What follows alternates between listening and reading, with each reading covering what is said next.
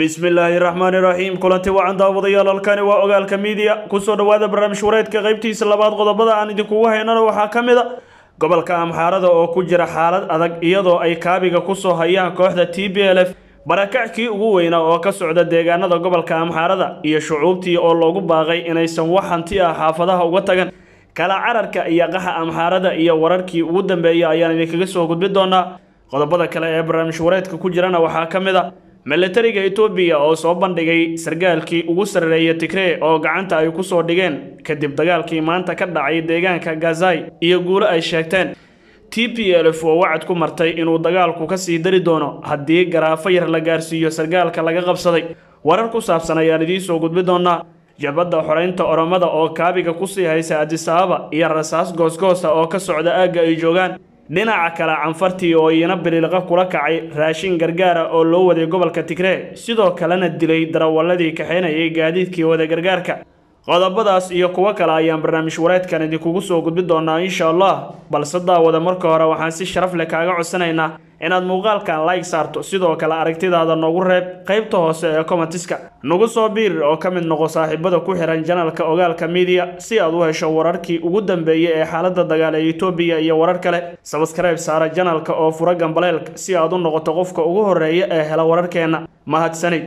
waa habeen axad ee ay soo gelayso taariikhduna waa kow iyo labaatanka bisha sideedaad sannada labada kun koo iyo labaatan. Aynu ku bilownay xaaladda dalka etoobiya gobolka amxaarada ayaa haatan ah meesha ugu kulul ee dagaalku uu ka socdo. Gobolka amxaarada ayaa waxaa kaabiga ku haya in gebi ahaanba ay la wareegaan dagaalyahanada t b l f oo jafafka ugu jira guud ahaan gobolka iyagoo xuduud kasta oo ka mid a xiray milatariga etoobiya ayaa sheega maanta inay go-doon geliyeen kooxda t b l f oo guud ahaan gobolka amxaarada ku go-doonsan balse wararka caawa soo baxaya ayaa sheegaya in maamulka amxaaradu ay shucuubta ugu baaqeen in marka ay barakacayaan ay horay u qaataan wax kasta oo hantiya oo u yaalla. Sidoo kale maamulka amxaaradu waxa ay sheegeen in barakacyaashii deegaanku ay gaareen afar boqol iyo siddeetan kun oo qof maamulka amxaarada ayaa shacabkooda ugu baaqay inay hantidooda la baxsadaan oo kooxda t b l f ay kala cararaan lafahooda iyo hantidooda. Dhinaca kalena dagaalyahanada cafarta ayaa maanta qaaday tillaabo ka caraysiisa tigree iyaga oo jidka u gala raashin loo waday bililiqana kula kacay. Sidoo kale waxa ay dileen qaar ka mid a darawaladii kaxinayay gawaarida gargaarka siday ee markaasi u socday gobolka tigree tillaabadan waxa ay caawinaysaa tigree oo muddo u-n-ta ka codsanayay in gargaarka loo soo wareejiyo dhanka suudaan halkaa oo ah meel nabadgelyaha si toosana gargaarku uu u gaaro tigree dhinaca kalena milatariga etoobiya waxa ay soo bandhigeen sargaalkii ugu sarreeya tigree oo gacanta ay ku dhigeen dagaalkii maanta ka dhacay deegaanka gazai iyagoo guulana ka sheegtay dhinaca kale t b l f waxay wacad ku martay in sargaalka gacanta u galay dowladda milatariga etoobiya haddii garaafo yar la gaarsiiyo dagaalku uu sii huri doono. Sidoo kale wararka caawa ugu waaweyn xaaladda etoobiya waxaa ka mid a jabadda xoreynta oromadu waxa ay kaabiga ku sii hayaan adisababa oo ah caasimadda etoobiya iyadoo aagaga u dhow magaalada adisababa laga maqlayo rasaas goosgoosa oo dhex maraysa labada dhinac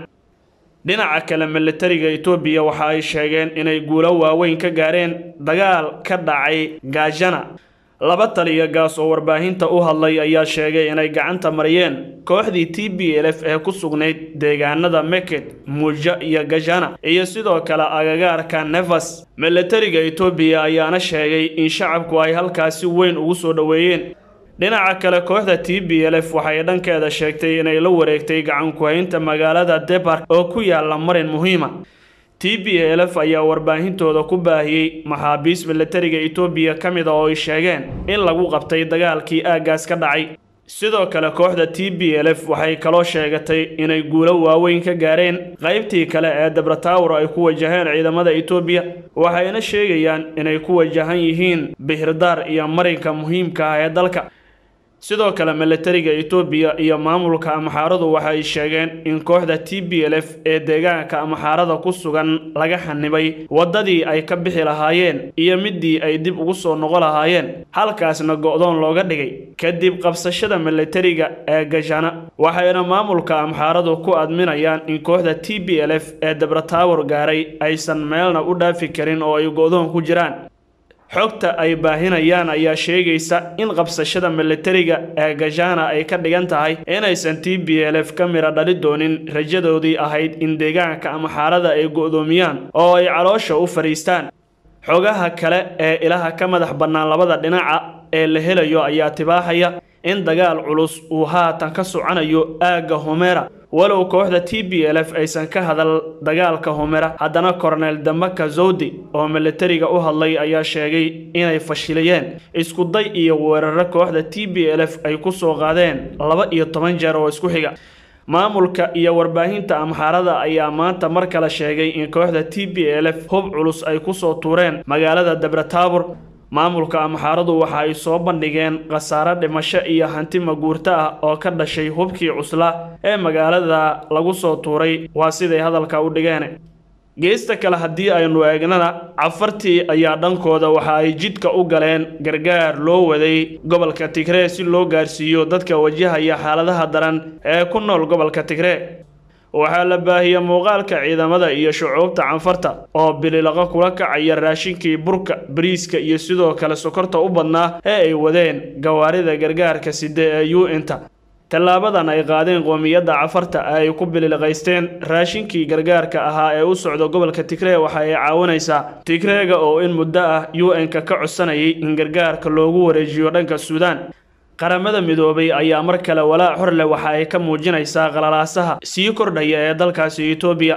antonio guteres oo wariyaasha kula hadlay magaalada new york ayaa sheegay in awood milatari aan marnabo lagu xalin karin colaadda gobolkaasi oo fidaysa kuna fidaysa gobollada deriska. Ah malaayiin qof ayaa colaadda dalkaasi ku barakacay halka boqolaal kun oo kalena ay wajahayaan macluul daran hadalka antonio guteres waxa uu ku soo beegmay maalmo un kadib markii hay'adda xuquuqul insaanka ee amnesty international militariga etoobiya iyo xulufadooda ay ku eedeysay kufsi aan xal lahayn oo lagula kacay dumar iyagu dhibaato wajahayay oo gobolka tigree ku nool. Amnesty international waxa ay sheegtay sidoo kale in ciidamada dowladda ay arrintaasi ka dhigteen xeelad cusub oo ay u adeegsadaan. Dagaalka ay kula jiraan kooxda t b l f taa oo ah mid nacasnimo ah hay'addu waxa ay sheegtoo kale in tacadiyadii ka dhacay waqooyiga dalkaas sagaalkii bilood ee uu dagaalku socday ay la mid yihiin dembiyo dagaal. Waxyaabaha ugu daran ee laga soo tabiyey tigree waxaa ka mid a in dad isku jinsiya lagu qasbay inay isu galmoodaan tilaabadan oo ay ku kaceen militariga etoobiya amnesty waxa ay sheegtay inay haysato cadeymo waaweyn oo muujinaya in xadgudubyada galmada ay joogto ahaayeen. Tan iyo maalmihii ugu horreeyey ee dagaalku uu bilowday dagaalka etoobiya ayaa u muuqda mid aan waxba la ysku reebanayn iyadoo xitaa dumarka la kufsanayo. Colaadda etoobiya ayaa horraantii bishan yeelatay weji cusub kadib markii ra'iisul wasaare abiy uu ugu baaqay shacabka inay ku biiraan militariga si ay ula dagaalamaan xoogaga tigree waxa uu sidoo kale ciidamada tigree ku eedeeyey inay qortaan carruur askartooda ka mid noqonaya sidoo kalena ay dumarka kufsadaan iyo sidoo kale inay hor istaagaan gargaarka bini-aadanimo t b l f oo dowladda ay u aqoonsan tahay urur argagixiso ah balse iyadu sheeganayso inay tahay dowladda rasmiga ah ee gobolka tigree ayaa dowladda dhexe ku eedeynaysa inay adeegsanayso hadallo sun ah oo ka dhana dadka gobolkaasi ayna mas'uul ka tahay xayiraadda ka dhanka ah gargaarka bini-aadanimo. Sidoo kale jabhadda t b l f iyo sidoo kale tan xoreynta oromada ee o l f ayaa shaaca ka qaaday inay ku heshiiyeen isbahaysi midaysan oo ay samaysteen si ay ula dagaalamaan dowladda uu hogaamiye abiy axmed hogaamiyaha ciidamada jabhadda o l f garabka shaane komsa diriba oo wakaalada wararka a b u waramay iyo hogaamiyaha t b l f debressation gabra megal oo u waramay isna wakaalada wararka reuters waxa ay sheegeen in labadaasi jabhadood ay ku heshiiyeen inay mideeyaan dagaalka ay dowladda etoobiya kula jiraan dowladda etoobiya waxa ay marar badan sheegi jirtay in labadaasi jabhadood ay yihiin kuwa halis ku ah nabadda iyo xasiloonida dalka xiriirna uu ka dhexeeyo guud ahaana barnaamij wareedkeennii ayaa intaa ku dhan daawada muuqaalka like saaro sheergaree naguna soo biir oo wehel naga dhigo si aad u hesha akhbaraadkii ugu dambeeyey ee xaaladda etoobiya iyo warar kale